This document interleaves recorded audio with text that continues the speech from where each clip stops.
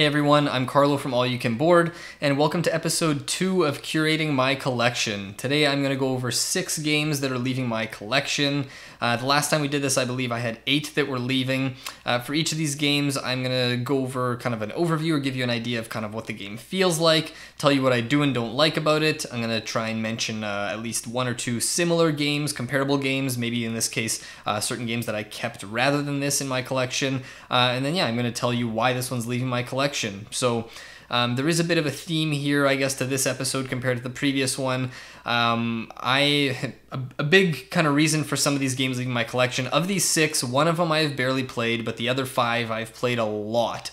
But um, I am going to be a dad in about six or seven weeks, and my amount of free time is going to be seriously changing. So I've had to be a little bit more aggressive with culling games from my collection. So um, most of these are great games, games that I've had a lot of fun with, but just for one reason or another uh, are no longer in the kind of must own category.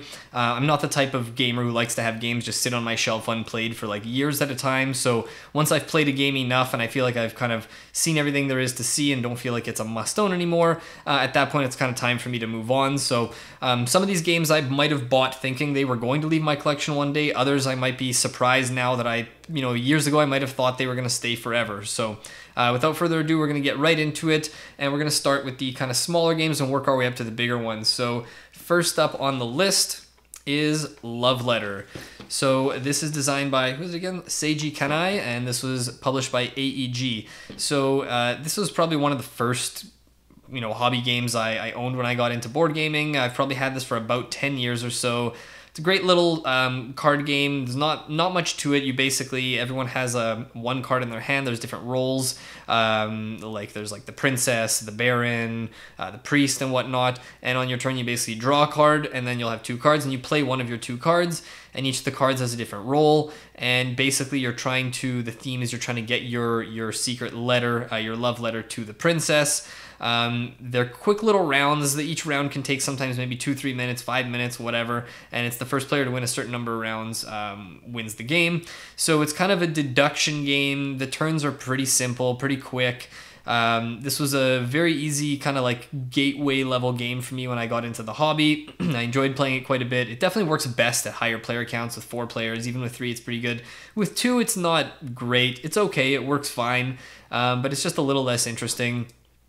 And it's surprising it does hold up for quite a few plays, but I just feel like I'm at a point in the hobby now where, I mean, first off, I it's I can't remember the last time I pulled this off my shelf and played the physical copy. I've maybe played this once in the last like three or four years. I just have so many other small box little card games. Um, again, if I'm talking two players, this is never going to be the game I, I pick. Uh, if I'm going to pick a two player card game, I mean, there's all kinds of stuff like not not talking similar type of game, but like Race for the Galaxy, whatever. But if I'm looking for like a kind of you know game that I want to play with other players that's more interactive, three or four players, there's all kinds of stuff. You've got games like Coloretto, For Sale, all these other filler games that I find have everyone a little more involved.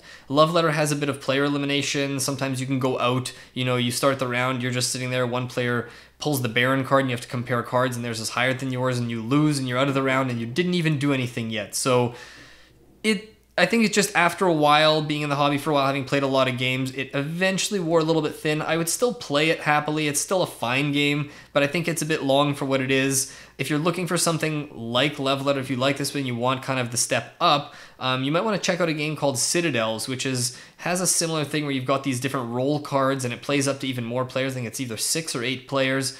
Um, there's a decent amount of downtime at times, but uh, it's basically a more interesting, slightly more complex version of Love Letter. So uh, either way, Love Letter is a good game. If you haven't tried it, you can try it out for free on Board Game Arena. Um, but yeah, that one will be leaving my collection. Next up, we've got Gizmos. So this is designed by Phil Walker Harding who also designed uh, Sushi Go, Barenpark. Uh, he recently designed Cloud City. Um, as well as Summer Camp, I believe is his newest game, and this is published by CMON Games. So um, we actually did a how to play video and a review of this uh, back when I first got it a while ago. This is a 2018 game, and it is basically um, an engine building, tableau building game Uh, the basic theme is that it's the world's greatest science fair, and you're trying to compete to to sort of have the greatest invention at the science fair. So each player has a a little dashboard that shows their four available actions. You can, you know, there's a and there's a, a sort of a little tower of these marbles of four different energy types. They're red, yellow, blue, and black. Um, you know, heat, electric, atomic, whatever. And basically, there's actions throughout the game where you can be drawing through this from the top of this marble dispenser blind, or there's a little row where these marbles kind of roll out, and you can be taking marbles um, that you can see, picking a specific color from the row, and you're collecting these sort of energies and keeping them in your little energy ring, and you can take these cards from the tableau and use the energy to pay for them. And the whole game is about these chain reactions. So you start off with your one little basic gizmo card, and then there's a tableau of cards or a sort of market of cards that players can buy from. And as you buy these cards, on your turn, doing one single action can sometimes trigger another action, which triggers another one, which changes into this other action. So early in the game, you're doing very little on your turn. You're sometimes just taking an energy here, or you're taking this card and putting it in your reserve and then later in the game you might be able to hold twice as much energy and you might be you know when you pick one of these it also lets you pick one of these which also lets you take another one of these uh, energy types which then lets you build something which triggers into that. And it's all about this kind of like this the game has this really interesting arc where you start off so weak and then by the end you feel like you're doing so much in your turns um, and the game has a bit of a race element in, in that sense with, um, you know, when a certain number of cards have been played or built, uh, triggers the end of the game and whoever has the most points wins.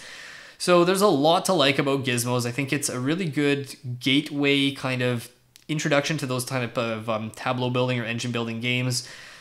For someone who's maybe never played board games before, this might be slightly above Gateway, maybe. Um, I would compare this this fall. This is a similar game to kind of like Splendor and the Century games like Century Spice Road and Century Golem. They're those kind of like you know on the Board Game Geek weight. They're like 2.0. It's kind of between light and medium, kind of gateway, kind of not. And they're the type of games that fall in this weird range where sometimes for a gateway game it might be a little complicated for some people, and then sometimes for advanced gamers after 5, 10, 12 plays or whatever, it might feel like it wears a little bit thin. Um, and to me, that's kind of why this is leaving my collection. I've played it now probably 10 or 12 times. I've enjoyed it. I gave it a very positive review. You can go back and check that out. Um, I have very little wrong with the game, very little issues. There's a couple things like after repeat plays, it loses a bit of it, its excitement. Um, the cards, I wish had some maybe more identity, like a name on the cards, so you're not just looking at them and trying to figure out, like, identify them by the abilities all the time.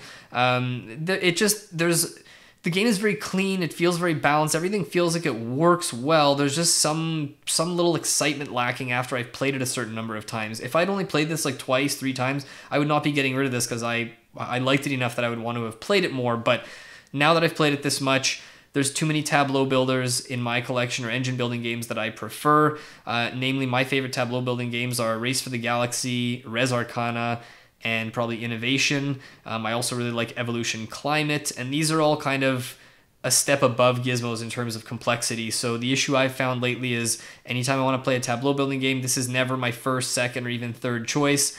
I'd be happy to play it again if someone else has it, and I believe my uh, brother-in-law, or I should say brother-in-law, in-law, uh, was probably going to be buying this from me. So James, if you're watching, um, now's your chance. Let me know if you're interested in gizmos. But uh, yeah, it's it's a great game, but just one that I don't feel the need to own anymore. That is Gizmos. All right, next up we've got this one's kind of maybe a half cheating pick, and I'll explain why as I go. And I don't, yeah, maybe a half cheating pick. That is Galaxy Trucker. This is designed by Vlaada Chvátil and published by CGE.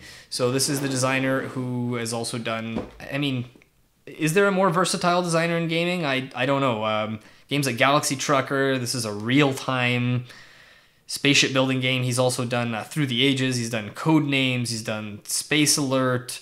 All kinds of games.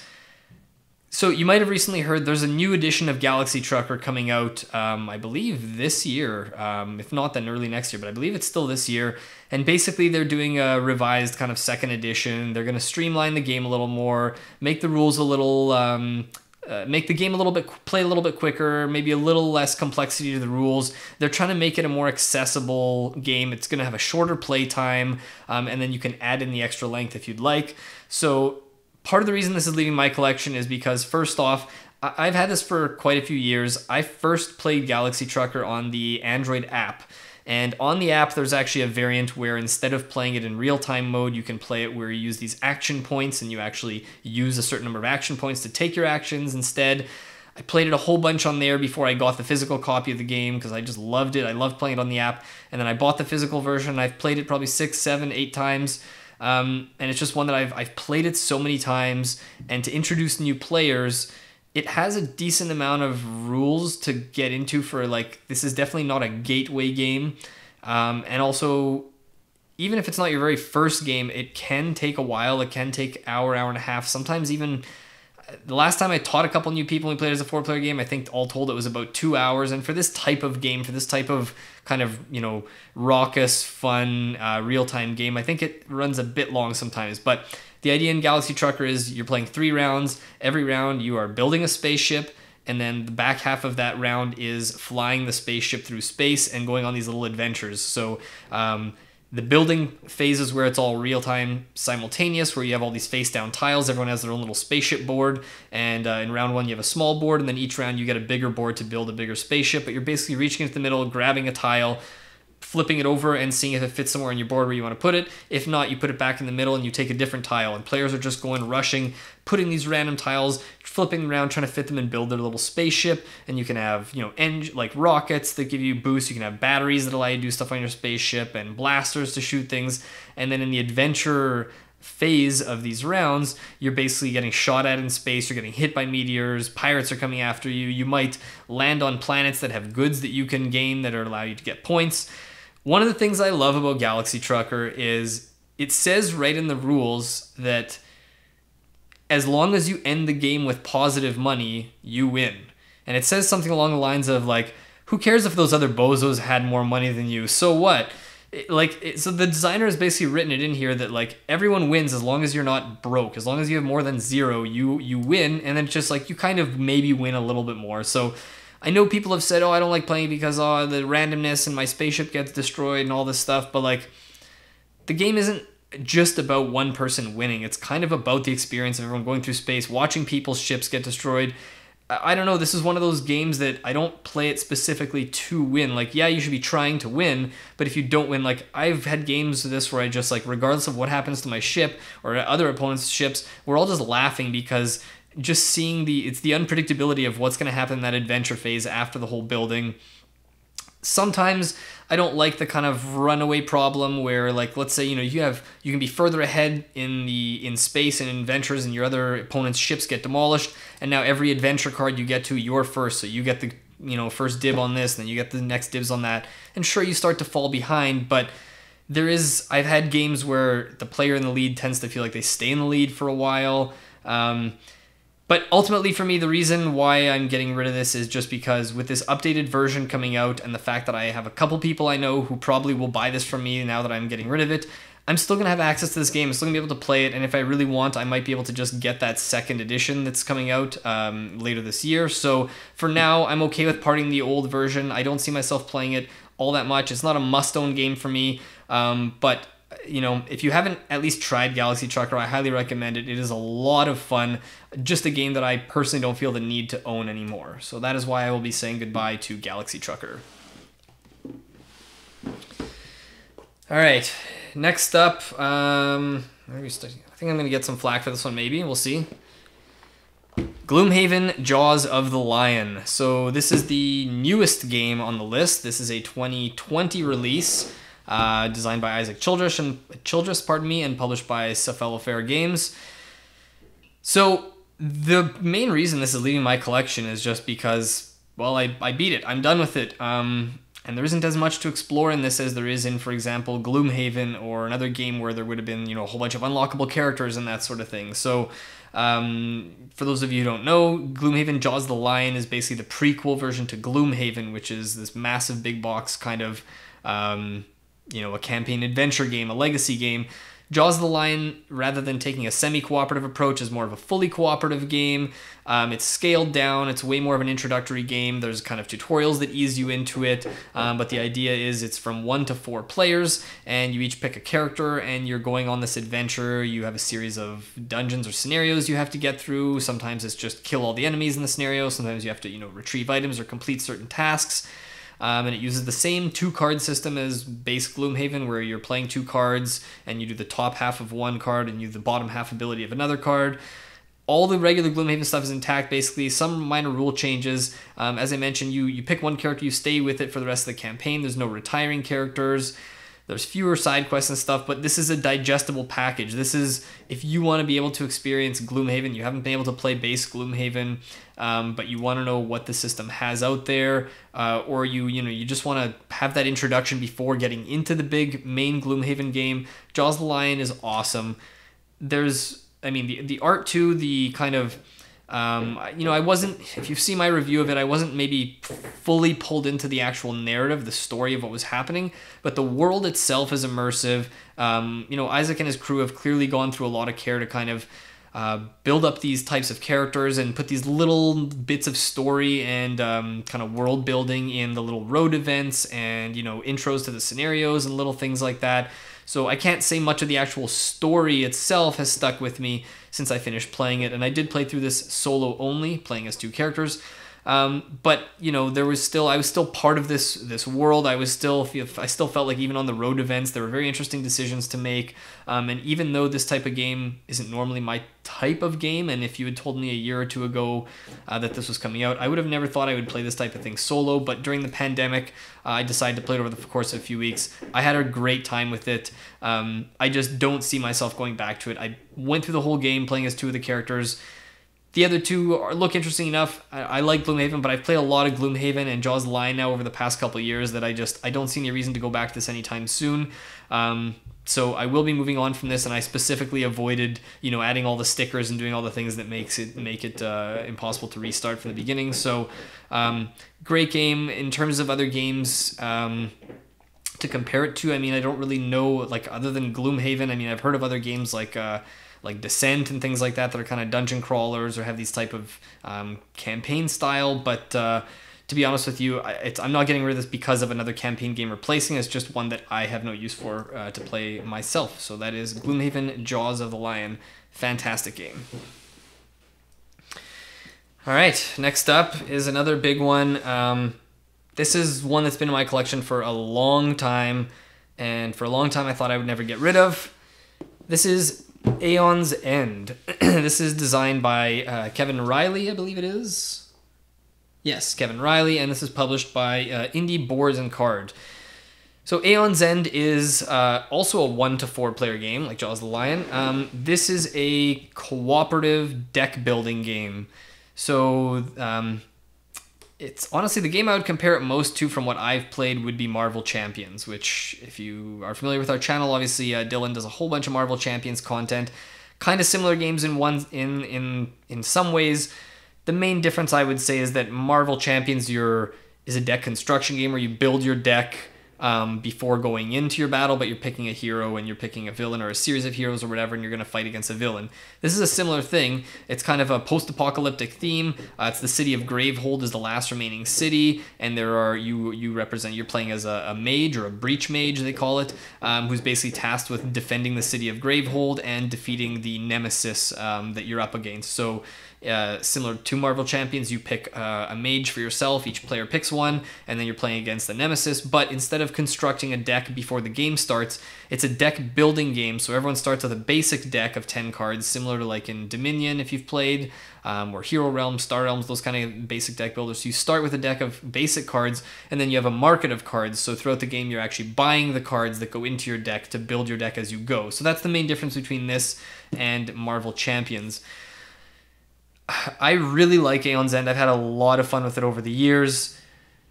There's there's so much cool stuff in here. I mean, first off, the fact that it's a cooperative deck building game. At the time, I, there weren't a whole lot of these, um, as far as I knew. There's a couple other cool things it does. One is that in a lot of deck building games, you're shuffling your deck um, after your discard pile empties, or after your deck empties into your discard pile, you're shuffling it to redo it.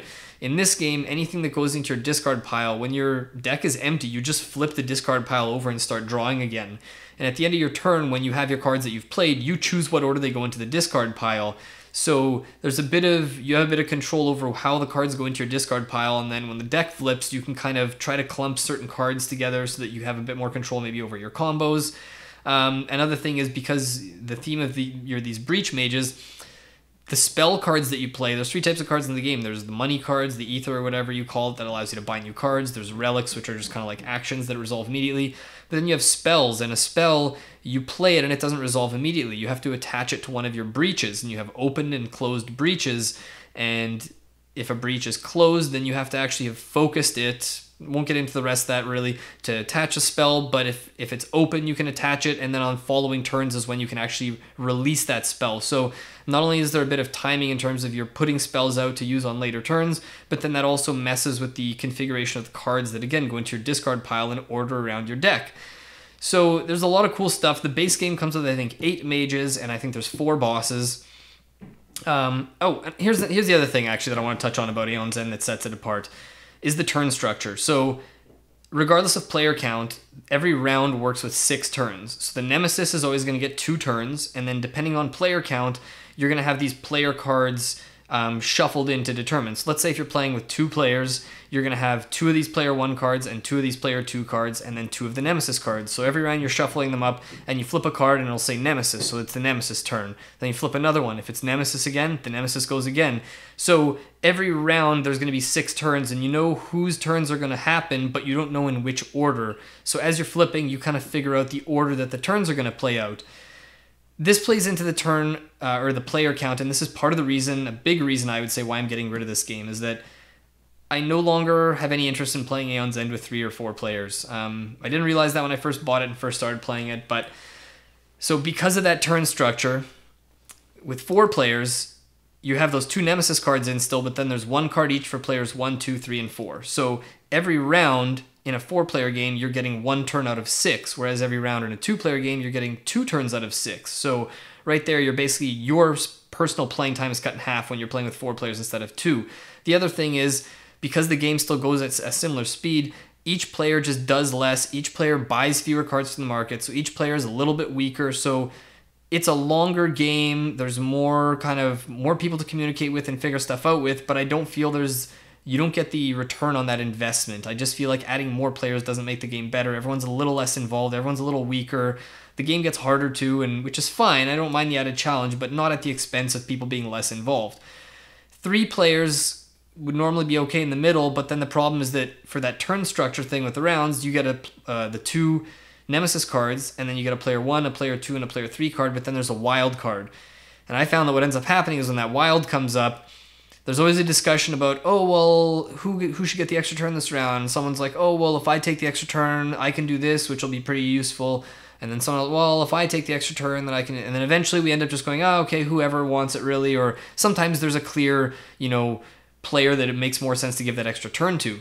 But the issue is then they got two turns that round, whereas the other players each got one. So now they're kind of already stronger. And then sometimes, depending on what nemesis you're against, it might make sense to just keep powering up that other player. And then in the next rounds, think, well, they're already so strong. If I take the extra turn, I'm not going to be able to do much. But if we give them two turns, they already bought those extra cards. They can do more. So then it feels like you want to just keep feeding in and letting that person keep taking the extra turn every round. But then they're taking more turns and playing more of the game. So to me, I don't really like the game much with three or four players for those reasons. I've played it enough solo. I've played it again. I've tried against all the nemesis, uh, nemesis, I should say, uh, in here enough. I don't feel the need to go back to it solo. And then where it plays best as a two-player game, I just have so many other two-player games that I would rather have um, hit the table ahead of Aeon's End, especially because there's a decent amount of setup time too for this. You got to set up the market of cards that you're going to do. Then you got to put together the Nemesis deck following this little chart. You're got all these different dividers and compartments and whatever. So I feel like this was the perfect game for me when I first discovered it. Probably my early 20s. I had a lot more time on my hands. I only had maybe six, seven, eight games in my collection. I've gotten a lot of play out of this. Everyone I've shown this to over the years has really enjoyed it. It's a great game. Uh, there's a couple expansions in this box as well And to be honest, um, I'm not completely done with Aeon's End. I would gladly play it again if someone else had it, and I might even explore. There's other, there's Aeon's End Legacy, there's Aeon's End War Eternal and New Age, and all these different versions of it. So I think I'll probably revisit the Aeon's End system at some point. But I mean, look at the size of the box, right? It's one of the bigger boxes on my shelf. It sits there mostly unplayed, and because of again my issues with some of the player counts, it's just it's one that I'm gonna have to event, uh, at this point finally move on from. But I've had a great time with it, and if you haven't picked it up or checked it out yet, and you're looking for a cooperative deck builder, I do highly recommend you check out Aeon's End. All right, and the last game I am getting rid of this time. I don't know how I'm even gonna get this box in here. Let's try and make some room. It is SEAL Team Flix by Pete Ruth and Mark Thomas. Uh, this is a game of tactical dexterity, a cooperative tactical dexterity game, uh, to be precise. It's published by WizKids. So, as you can see, this box is massive. Um, what is a cooperative tactical dexterity game? Well, think of um, if you're familiar with the video games, things like um, uh, Splinter Cell, um, Metal Gear Solid, that type of stuff, where you're kind of like sneaking around, infiltrating, trying to save hostages, defuse bombs, that kind of stuff, trying not to be detected. You know, um, imagine that in board game form, cooperatively, but the dexterity part comes into place because this is a flicking game, hence the name SEAL Team Flix. So the game comes with these little discs, and you have these figurines on a map. Um, the game comes with six maps that you have to put together. Um, takes a while to actually put them together with all the glue and punching all the, the boards out and everything. Um, but basically, the game comes with standalone missions, or you can do a, a like a campaign mode that you pick a character. Um, you play this as with one to four players, and you basically try to play through a campaign. Um, but if you lose a mission, your character actually dies, and you have to kind of start over. So it's a pretty tough, um, unforgiving game, but you're basically going through these scenarios where there'll be objectives. Um, you know, they're kind of there's a certain randomness to how the, the levels are populated. There's these little tokens that get spread out that can either like generate noise or it can be a hostage or it can be whatever, different types of bad guys. And the idea is you're navigating these rooms trying to complete these objectives, solve these, uh, you know, complete these missions. Um, and you're eliminating guys, eliminating tangos or killing bad guys by flicking these little discs at them. So honestly, it's a combination I never thought I would um, hear ever see, see in a game. I heard a lot about this on uh, the So Very Wrong About Games podcast um, for a little while, and I, I, just I had to I had to try it for myself. I saw this for uh, fairly cheap, and of all the games I've mentioned so far on this list, this was the one I was talking about that I haven't played much of. All the other games I've gone over, I've played probably at least eight or ten times minimum. This one I've only played twice, I believe. Um, I, I really there, there's nothing quite like this game. I Dylan and I brought it out to the cabin once. We were able to try it, and it is a lot of fun. There's a lot of cool moments. There's, you know, the way that you kind of sit there and you, you can observe the map and you kind of try and spot these opportunities and figure out how are you gonna you know you have to come up with a plan. So there's some strategy to it. It calls it a tactical game but there is some strategy at the start of figuring out what's my plan how am i to try and get to that spot and rescue that person or where are we to navigate through which rooms are we to go through here? But then every every round things change. The, the the game state changes you know? You fire at someone and there's noise more people are attracted suddenly there's more guys around um, and then you have to keep deciding are you going to take cover behind something? What type of shot are you going to fire? Are you going to shoot with a shotgun? Are you going to try and throw a grenade? There's all kinds of stuff that comes into play, and everything you do in the game pretty much, again, has to do with flicking these discs. And they even incorporate the flicking mechanic with things like bomb defusal. So there's these little sideboards where when you have to defuse a bomb, you pull out this little sideboard and there's a little target, and you basically have to hit these little targets by flicking discs, and that's how you determine whether or not you successfully defuse the bomb bomb. So there's these little like mini games that also incorporate the flicking. It's not just for flicking them to hit the bad guys around the map. So it is. I mean, if you look at even just the the, the artwork on the cover and uh, the artwork and the rules and stuff, like it is kind of like yeah, it's the SEAL team kind of you know theme, but it, it is kind of goofy. It is kind of silly. Like obviously you're you're flicking discs um, in this like infiltration uh, game trying to rescue hostages and stuff. Like, obviously, it's very silly. What prevented me from being able to enjoy this more or get it back to the table again is there are some rules issues. I mean, first off, the rules are pretty complicated. Um, I had to read through the rule book once. I still didn't fully get everything or memorize everything. So it involved actually setting up the game, running through some moves. Then I still had some questions. Found out there's some either errors or inconsistencies in the rulebook. So there's like errata online on the SEAL Team Flix uh, Board Game Geek page. There's some good threads there that have little like um, player aids and cheat sheets and things that you can use to kind of help get a hang of the rules. But even so, while playing, you know, there's certain parts in the rulebook where it says one thing, and then in another part it kind of says something that contradicts it or is confusing. So I found there was a lot of these cases where I was unsure. I had to go online. And as I mentioned at the start of the video, I'm going to be a dad soon. Um, my, my time is getting more precious. And since I've played this about five, six months ago, I've already forgotten most of the rules again. The idea of relearning the rules, refamiliarizing myself with the you know potential uh, errata or rules corrections, thinking about teaching a new person the game again, and then playing it once or twice, and then what if it doesn't hit, or what if we don't want to go back and continue that campaign? It's not a game I would want to play. I think as a three or four player game. Solo would probably work well, but the idea of sitting there flicking and making these nice shots and having no one around just made me a little sad to think about doing that. So I was like pretty insistent on playing it as a two player game. But again, when you're with two players, there's already other two player games you don't get to play as often. And again, with the rules kind of overhead and everything, it just falls into this spot where I can't see myself playing this game in the next year or two, at least, maybe even longer. And realistically, if I come back to this in three, four years or longer, it's going to be even more new to me. There's going to be even more, you know, having to relearn all the rules and stuff. Um, so yeah, it falls under it, it, This one feels almost like maybe not a missed opportunity, but I kept this one on my shelf for so long because the potential of the game was there. Um, the other thing that's keeping me from keeping this in my collection is I don't like to keep a whole lot of games. I think my collection's floating somewhere around 100 games right now, which I mean, to some of you might sound ridiculous, might sound like a lot, but compared to a lot of other people on the internet who are making board game videos, it's not a lot of games. Trust me.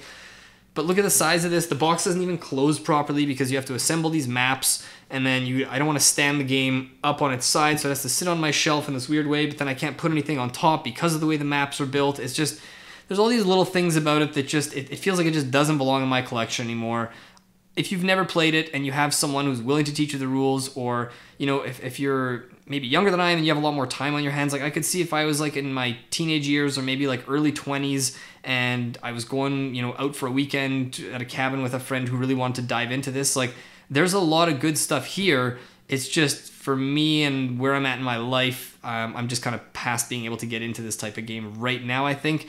And if I am going to, um, they've actually, what was going to be an expansion um, pack for this game, they've kind of converted some of that into a new game they're developing called Phantom Division, which is supposed to be coming out either in 2021 or 2022 uh, by the same designers and publisher. So keep an eye out for Phantom Division as well if you're interested, or um, you can start off with Seal Team Flix. So that one will be leaving my collection, and that is the final one. So those are the six games that I am culling from my collection this time. Uh, tough decisions. Again, some of these have been in my collection for a long time. Some of them were former favorite games. Aeon's End used to be my favorite deck building game. Um, there's some, you know, these are both cooperative games. I guess three cooperative games here. I just realized. Galaxy Trucker, I've had a blast playing, but you know, uh, as you play more and more games and you try to spend more time playing the games that you like most, um, sometimes you got to make these decisions. And uh, yeah, um, I'm hope I don't regret any of these. What do you think? Do you think I'm going to regret any of these? Uh, are there any games here that you think I'm nuts for getting rid of? Any of these that you think um, I totally am, you know, right on the money with getting rid of? Do you have any good alternatives to any of these that you'd want to suggest that you think might hit the mark more for me or might still have a place in my collection? Uh, let me know. Always interested to hear from you guys. Um, we'll do, you know, more of these videos whenever either myself or Dylan, when one of us has some of these games to get rid of. Uh, if there's anything else you'd like us to, to see us incorporate into the format of these videos or anything else you'd like to see us cover, just let us know. Otherwise, that is it for now. So thank you so much for watching and we'll see you next time.